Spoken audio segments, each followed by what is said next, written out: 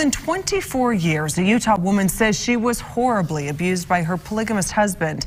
Now she's working to help others escaping polygamy and re-enter society. Well, any assistance will help. As ABC4's Andrew Reese reports, life after an abusive, polygamous relationship really is an uphill battle.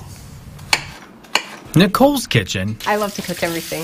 is her safe space. Carrots. Where's my carrots? I do it a lot of times just for therapy. It's where this former sister wife turned personal chef breaks the cycle of decades of abuse. He was going to kill me. She lived in Eagle Mountain until about two years ago with her polygamist husband. I had 15 children in 19 years, 13 living.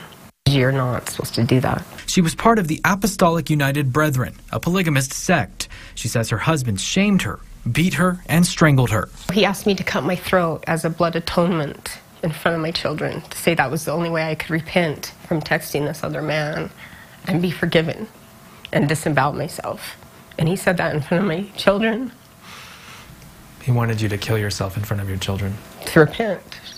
And that was the only way I could come and be forgiven and be with him in the celestial kingdom. She left his home with only one of her 15 children, hoping one day she'll be able to get all of them out. Are you worried for their safety? Absolutely, I am. I can't even call him on the phone.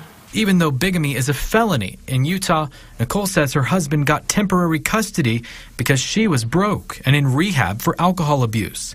She had nothing when she escaped. So many women leave, but they don't have the financial help. And so they end up going back. And every time you go back, you're more shamed, you're more punished, you're more mentally impacted. There's now proposed legislation on Utah's Capitol Hill that would allow psychologically damaged victims of polygamy and bigamy to seek reparations. Under House Bill 214, bigamy related crimes make victims eligible for mental, financial, and medical assistance from the state. And Nicole Someone has to do it. is on the front lines fighting for the bill to pass, hoping to help others escape one life It is the hardest thing you'll ever do. and whip up a brand new one. You get a chance to live again and find out who you are. In Park City, Andrew Reeser, ABC4 News. Now, the Utah Office for Victims of Crime currently does provide assistance grants to many people escaping abusive situations. This bill would add bigamy abuse victims to that list. Now, for more information on resources that are available, you can go to abc4.com and click on this story.